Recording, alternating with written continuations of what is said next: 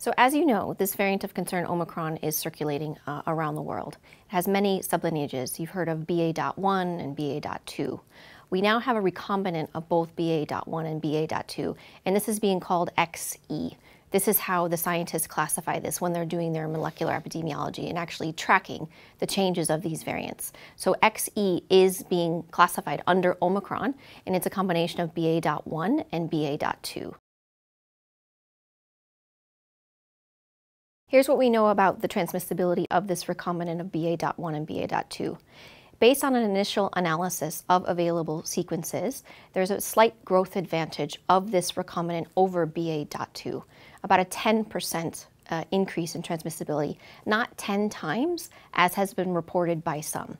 But we are analyzing this with all available information that we have, and we will continue to do so. Um, the analysis will be ongoing, as we do with all variants. Um, and again, this recombinant is classified under Omicron. So as information becomes available, we will update you as quickly as possible.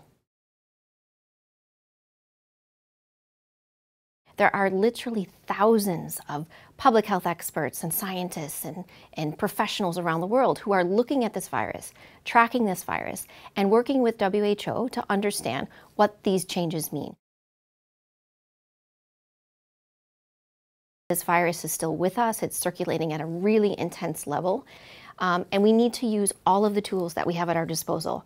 These tools are vaccines and more importantly, vaccination. And we need to make sure that when it's your turn that you get vaccinated and you receive the full course of the doses that you need.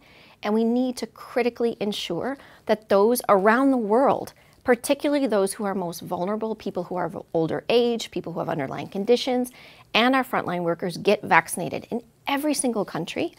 And we need to also follow other measures. Um, physical distancing, wearing of a mask, avoiding crowded spaces, opening the windows and doors when you're indoor, when you're inside, staying home if you're unwell. All of these tools continue to work against reducing the spread as well as preventing severe disease and death. But vaccinations remain critically important and are incredibly effective at preventing severe disease and death. So get vaccinated when it's your turn.